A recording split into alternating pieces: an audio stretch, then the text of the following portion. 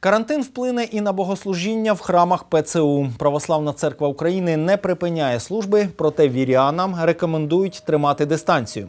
Канцлер Дніпровської єпархії ПЦУ Віталій Лопушанський розповідає, будуть намагатися розмежувати людей. Сповіді будуть відбуватися не індивідуально, а для всіх одночасно. Для причастя братимуть одноразовий посуд. Також, свящ... Священники радять вірянам не цілувати ікони. У храмах, де є така можливість, служби будуть проводити онлайн за допомогою трансляції. Храми будуть відкриті е, щодня, і тому ми, е, безперечно, священнослужителі будуть е, інформувати про це людей, і ми будемо старатися робити так, щоб люди не масово приходили на це таїнство соборування, а приходили, наприклад, там сім'я, чи по одному чоловіку, чи родинно приходили для того, щоб обмеж...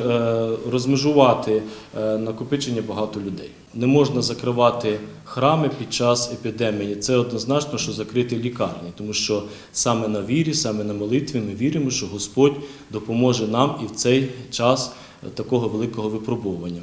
Сповідь буде мати дещо інший характер, будемо практикувати більш загальну сповідь, де буде менше контакту е, священнослужителя з людьми. Сьогодні ми перебуваємо у Великому пості, традиційно в православних церквах звершуються такі масові соборування, таїнство соборування. То сьогодні ми запрошуємо людей на індивідуальні ці соборування, щоб якомога більше розмежовувати людей в, в кількості.